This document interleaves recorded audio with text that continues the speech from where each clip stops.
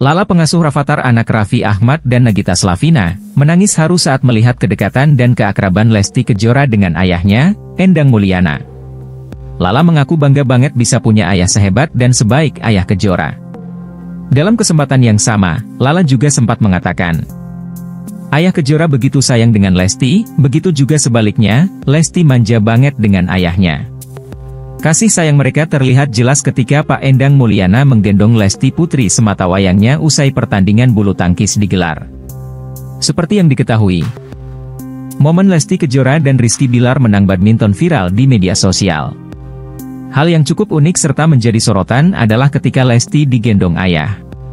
Lesti Kejora nampak bahagia usai mengalahkan pasangan selebriti Raffi Ahmad dan Nagita Slavina. Mereka bertanding dalam turnamen olahraga selebriti Indonesia pada 16 Juli 2023. Pasangan Leslar menang 2 versus 0 dari keluarga Sultan Andara. Rincian poinnya adalah 21-12 dan 21-10. Usai menang, Lesti nampak melompat dan berjalan menuju sang ayah, Endang Mulyana, sang ayah nampak memeluk serta menggendong Lesti cukup lama. Sebagian netizen terharu dengan pemandangan tersebut. Namun tak sedikit yang menilai bahwa selebrasi tersebut kurang pantas karena Lesti sudah dewasa dan mempunyai suami. Momen Lesti digendong sang-sang ayah usai menang badminton langsung viral di TikTok dan Instagram. Saya yakin semua anak pingin punya ayah seperti ayah Lesti ini, ujar Netter. Masya Allah. Selamat ya ayah buat anak dan menantunya.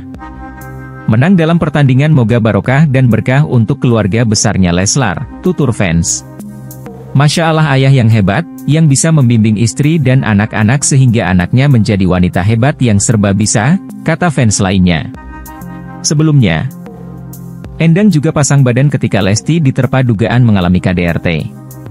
Ia juga tetap berusaha bersikap adil dan tampak legowo memaafkan Bilar. Ia juga memberikan dukungan agar pernikahan Lesti dan Bilar tetap langgeng. Alhamdulillah senang. Ya kan memang kita keluarga, harus kompak, kata pria yang akrab disapa ayah kejora ini. Ya kalau saya dari awal nggak ada perubahan. Tambah si ayah lagi. Usai pertandingan, Rizky Bilar mengungkap bahwa sinergi serta kekompakan membuat mereka meraih poin atas Raffi dan Nagita. Suami dari Lesti ini menceritakan sang pelatih yang sampai tak percaya dengan permainan mereka. Coach dari Leslar menilai penampilan mereka lebih baik dibanding saat latihan. Adanya kesalahan dari Raffi dan Nagita turut dimanfaatkan oleh Leslar. Sampai coach bilang, kok masnya lebih bagusan ini daripada pas latihan. Kita tuh pas latihan gak sekompak ini. Kita bisa dapat poin juga memanfaatkan miss atau kesalahan dari mereka, kata Rizky Bilar.